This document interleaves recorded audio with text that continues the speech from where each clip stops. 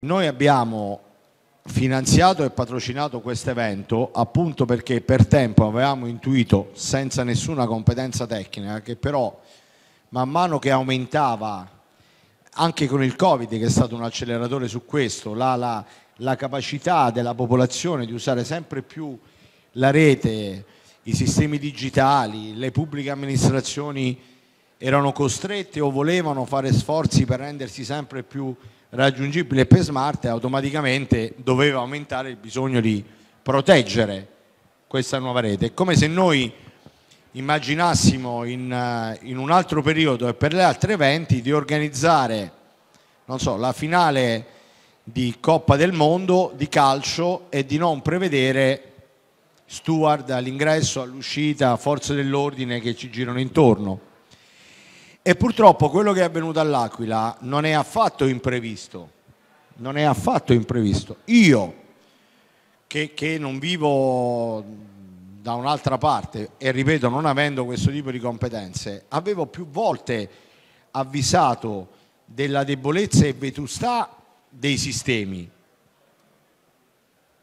delle strutture e della difficoltà a gestire anche il poco che si aveva con il personale qualificato dedicato a quella specifica materia. La Regione Abruzzo non ha nessuna competenza legislativa, non siamo neanche in una fase di concorrenza con la sicurezza eh, nazionale che è appunto tema eh, di esclusiva attività del governo e del Parlamento.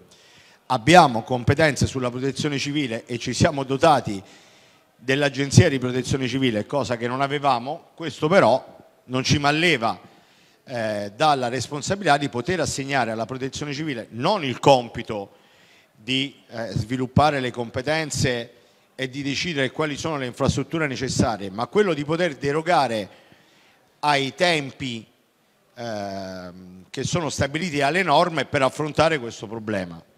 Voglio dire questo, cioè noi siamo in guerra, non è che questo è un fatto episodico, Dio è capitato, tra l'altro dolorosissimo.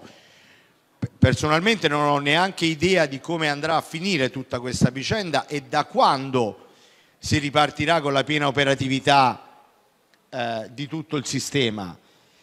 Altre strutture regionali hanno resistito un po' meglio, cioè il Consiglio regionale sarà stato attaccato qualche migliaio di volte, ci sono stati dei servizi ma eravamo pronti perché eravamo più organizzati perché ci avevamo pensato per tempo ed eravamo pronti con le strutture di supporto no? che intervenivano durante la fase dell'attacco.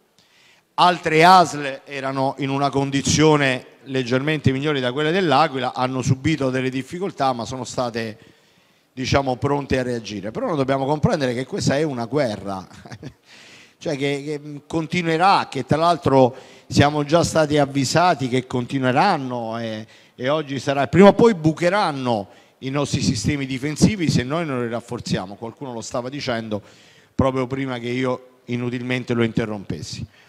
Quindi a mio avviso il governo italiano e il sistema delle regioni, cioè la conferenza Stato-Regione si devono eh, dotare di una legislazione specifica e d'urgenza che deroghi a tutti i tempi normali delle pubbliche amministrazioni e che crei la possibilità di utilizzare le risorse che più ci sono, che già ci sono, senza eh, vincoli di bilancio, anche perché poi i danni che producono sono 2000 volte superiori al costo eh, che invece vorremmo generare per proteggerci. E voglio aggiungere che questo è un dato, tra virgolette, appunto di guerra, quindi di difesa della vita dei nostri cittadini, perché quando blocchiamo le sale operatorie o blocchiamo delle visite specialistiche o blocchiamo gli interventi di somma urgenza, che poi magari sono stati mallevati per la capacità tipica di un italiano di dare il meglio di sé nel momento di massima disperazione, noi abbiamo messo a repentaglio la vita di un nostro concittadino, non il fatto che per qualche minuto non ha potuto consultare la propria mail o internet o l'home banking eh, o non gli funzionava qualche... cioè noi abbiamo messo a repentaglio la vita di un cittadino abruzzese. Per non aver capito, benché da tempo avvisati, parlo di eh, dipendenti pubblici, che noi eravamo altamente aggredibili e in quota parte battibili. E così è stato, ma lo si sapeva. Cioè non è stato un fatto, cioè che la rete della ASE dell'Aquila fosse a rischio collasso era un fatto noto. Procedure, gare, bandi, ricorso al TAR, non è così, cioè noi, dobbiamo, noi siamo in guerra e continuerà. Veniamo aggrediti da nazioni ostili estere, non lo so se sono loro o se ci sono persone che fanno questo la propria attività criminale, d'altronde cambia tutto nel mondo e cambia anche l'interesse delle attività eh, criminali, ma noi dobbiamo reagire con una legislazione d'urgenza sul modello protezione civile o sul modello Covid. Si derogano a tutti i tempi eh, di pubblicazione, si scelgono su un, albo, su un albo specifico i migliori professionisti e le migliori aziende, quelle che possono vantare il know-how necessario e ci si difende da quella che è una guerra e che continuerà, perché il danno altrimenti sarà migliaia di volte superiori e molte vite saranno esposte. Questo è quello che è successo in Abruzzo, né più e nemmeno. Grazie Presidente. No, può tenerlo nel caso. E il, suo, il suo intervento riporta, e eh, stimolo su questo la discussione, il, eh, un tema che è già emerso fin dall'inizio della mattinata, cioè il rapporto fra burocrazia, complessità normativa, efficienza e tempi di reazione. Perché quello che lei ha disegnato è una specie di libro dei sogni che sarebbe molto bello poter avere concretamente, perché è quello che serve.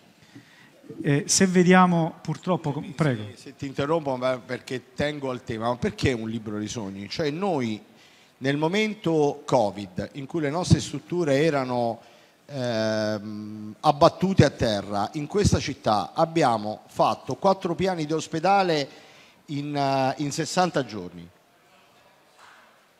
Cioè, io non capisco da questa terra, ma anche solo se guardassimo questa terra, ma ti dico nel panorama nazionale, noi abbiamo il fior fior di professionisti di aziende che offrono la propria, la propria esperienza e il proprio lavoro a chiunque in Italia e nel mondo non comprendo perché se siamo in guerra non ci vogliamo difendere, ma in guerra ci sono leggi speciali. Eh, il punto è cioè, non sono leggi ordinarie.